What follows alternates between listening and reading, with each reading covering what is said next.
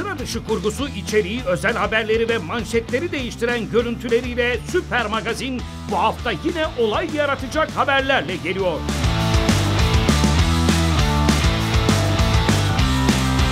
Türkiye'de magazinin kalbinin attığı program Süper Magazini bu hafta ünlü güzel Ece Erken sunacak.